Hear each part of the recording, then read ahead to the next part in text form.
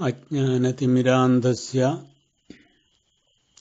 ജ്ഞാനാഞ്ജനശലാകയാ ചക്ഷുരുന്മീലിതം യേന. തസ്മൈ ശ്രീഗുരവേ നമ. അറിവില്ലായ്മയാകുന്ന അന്ധകാരത്തെ ജ്ഞാനമാകുന്ന കൺമഷി പുരട്ടി. അത് പുരട്ടാനുള്ള കമ്പുകൊണ്ട് ഏതൊരുവനാണോ മറ്റൊരുവന്റെ കണ്ണു തുറപ്പിക്കുന്നത് അങ്ങനെയുള്ളയാളെയാണ് ഗുരു എന്ന് പറയുന്നത്. അങ്ങനെയുള്ള ഗുരുവിനായിക്കൊണ്ട് വന്ദനം. ശ്രീ ഗുരുഗീതയിലെ ഒരു ശ്ലോകമാണിത്.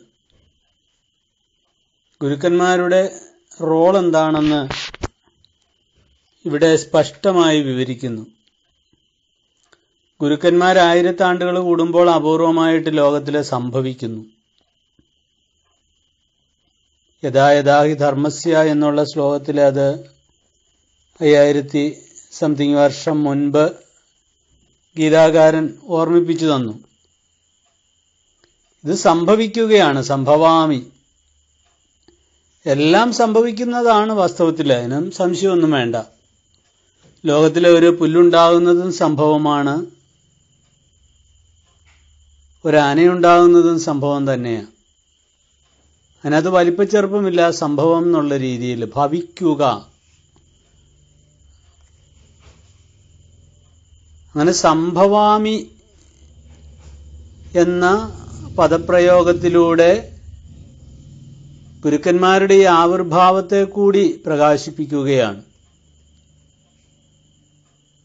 പെരുത്ത നൂറ്റാണ്ടിൽ ഇടയ്ക്കൊരിക്കൽ ഈ മരുപ്പറമ്പാം ഉലകത്തിലീശൻ ഒരൊറ്റ വൃക്ഷത്തെ നടുന്നു പാന്തരായി വരുന്നവർക്കൊക്കെ തണലേകിയിടുവാനായി. നൂറ്റാണ്ടുകൾ കൂടുമ്പോഴാണ് ഒരു മഹാപ്രതിഭ ഈ ലോകത്തിൽ വന്നു ഭവിക്കുന്ന ആധ്യാത്മിക പ്രതിഭ. ചെറിയ ചെറിയ തിരമാലകളെ വിഴുങ്ങുന്ന വലിയ തിരമാലകൾ കടലിൽ സംഭവിക്കാറുണ്ട്. കുഞ്ഞോളങ്ങൾ ഇങ്ങനെ അടിച്ചടിച്ച് സാവധാനം വരുമ്പോൾ വലിയൊരു തിര വന്ന് ഇവനെ എല്ലാത്തിനെയും കൂടെ കൂട്ടി ഒരുമിപ്പിച്ച് കരയിലേക്ക് വന്ന് അടിച്ചു തെറിപ്പിച്ചു പോകും അതുപോലെ മഹാസംഭവങ്ങൾ ചിലപ്പോഴൊക്കെ ഈ പ്രപഞ്ചത്തിൽ ഉണ്ടായി വരുന്നു. ആ തിരതള്ളലിൽ മറ്റു പലതും അടിച്ച് തകർക്കപ്പെടും. ദൈവത്തിന്റെ പേരിലും സാമൂഹിക ക്രമങ്ങളുടെ നാമധേയത്തിലും മറ്റു പല പേരുകളിലായി അനാചാരങ്ങളും ദുരാചാരങ്ങളും ഒക്കെ കാലാകാലങ്ങളിൽ സമൂഹഗാത്രത്തെ ഗ്രസിക്കും. അതിന്നും ഇന്നലെയും തുടങ്ങിയതൊന്നുമല്ല ചരിത്രം. മുതലും ചരിത്രാതീത കാലം മുതൽ ഇത് ഉണ്ടാവുന്നതാണ്. കുറച്ച് ആളുകൾ മിടുക്കന്മാരായിട്ട് തീരും. കുറേ ആളുകളെ ചൂഷണം ചെയ്യുവാൻ വിധിക്കപ്പെട്ടവരായിട്ട് തീരും. അതെന്തുകൊണ്ട് ഇപ്പോഴും നോക്കിക്കോ?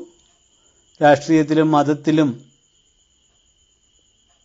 സംഘടനകളിലും ഒക്കെ കാണാം. കുറേ ആളുകൾ ചോര നീരാക്കാനും തല്ലാനും കൊല്ലാനും നടക്കുമ്പോൾ ഒരു ചെറിയ പക്ഷം ന്യൂന പക്ഷമാണത്. ചെറിയൊരു ആളുകൾ മാത്രമാണ്. അവർ ഈ പാവങ്ങളുടെ വിയർപ്പ് പ്രയത്നം ഒക്കെ കുടിച്ച് വീർത്തു വീർത്തു വരും. അവരെ നമ്മൾ എന്ത് പേര് വിളിച്ചാലും അത് ഈ ലോകത്തുണ്ടായിക്കൊണ്ടിരിക്കും എല്ലാ സമൂഹത്തിലും എല്ലാ വർഗത്തിനിടയ്ക്കും അത് സംഭവിക്കും. അത് ഒന്നും ഇല്ലാതായ ഒരു സാമൂഹിക ക്രമം എവിടെയും കാണാൻ സാധിക്കുന്നില്ല. പലരും കാര്യക്കാരനായിട്ട് മാറും. അവരൊക്കെ കയ്യൂക്കുള്ളവരുമായിരിക്കും.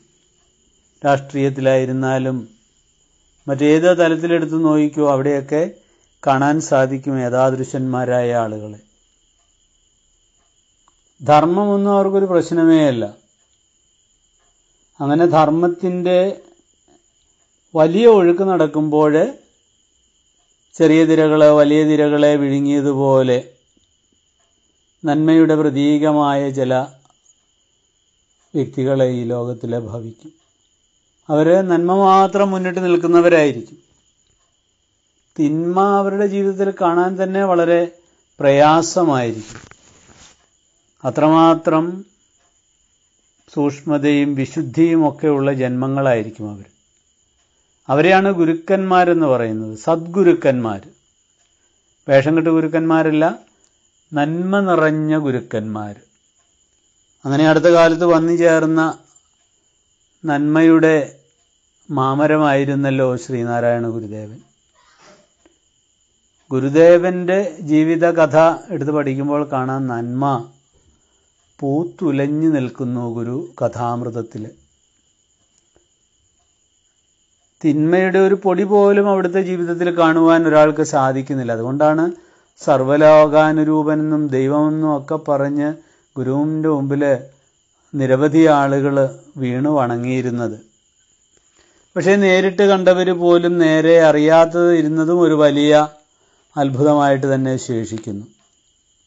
വേണ്ടതുപോലെ ഇവരുടെ മഹത്വം മനസ്സിലാക്കാൻ സാധാരണ മനസ്സുകൾക്ക് അസാധ്യം തന്നെയാണ്. അതിനുള്ള ഒരു പുണ്യപരിഭാഗമൊന്നും സാധാരണ ജീവന്മാർക്കില്ലാത്തത് കൊണ്ട് ഇങ്ങനെയുള്ള വടവൃക്ഷങ്ങൾ മുമ്പിൽ വന്ന് നിൽക്കുമ്പോഴും വേർതിരിച്ചറിയാൻ പറ്റാതെ വിവേകമില്ലാതെ അവരെ നമ്മളുടെ കൊച്ച വട്ടത്തിലുള്ള അളവുകോൽ വെച്ച് അളക്കുകയും ആ അളവുകളൊക്കെ യാഥാർത്ഥ്യത്തിൽ നിന്ന് അകന്നു പോവുകയും ചെയ്യും. ഗുരുവിന്റെ കാര്യത്തിൽ ഇത് എത്രമാത്രം ശരിയായിരുന്നു എന്ന് ഗുരുവിനെ നിഷ്പക്ഷമായിട്ട് പഠിക്കുമ്പോൾ അറിയാം. ഓരോ രീതിയിൽ ഗുരു ചിത്രീകരിക്കപ്പെടുന്നുണ്ട്. പക്ഷേ ഗുരുവിന്റെ യഥാതഥമായ മുഖം ഗുരുവിന്റെ സ്വന്തം വചനങ്ങളിൽ കൂടി അറിയാതെ തങ്ങളുടെ മനോവിലാസം കൊണ്ട് കപോലകൽപിതമായിട്ട് ഓരോന്ന് പടച്ചുവിടുന്നത് കാണും. അത് വലിയ ഗുരുത്വദോഷമാണ് ഗുരുനിന്ദയാണ്. അങ്ങനെ ഒരിക്കലും ചെയ്യാതിരിക്കേണ്ടതാണ്. ഗുരുനിന്ദ ജീവിതത്തിൽ വളരെയധികം ബുദ്ധിമുട്ടുകൾ ഉണ്ടാക്കും ഒരുവന്. ഗുരുക്കന്മാരെ ബുദ്ധിമുട്ടിച്ചിട്ടുള്ളവരുടെയൊക്കെ ജീവിതമെടുത്ത് പരിശോധിച്ചാൽ മതി. അതുകൊണ്ട് ഇത്തരം ഗുരുക്കന്മാർ ഈ ലോകത്തിൽ താങ്ങും തണലും ഏകുന്നതിനായി വരുമ്പോഴേ അവരെ അംഗീകരിച്ചില്ലെങ്കിലും നിരാകരിക്കാതിരിക്കാനുള്ള വലിപ്പമെങ്കിലും ഓരോരുത്തർക്കും ഉണ്ടാവണം. ഗുരുവിനെ നേരെ ചുവയെ പഠിക്കാൻ ശ്രമിക്കുക അറിയാൻ ശ്രമിക്കുക മനസ്സിലാക്കാൻ ശ്രമിക്കുക. ഗുരു നമുക്ക് വെളിച്ചം തരട്ടെ. നന്ദി.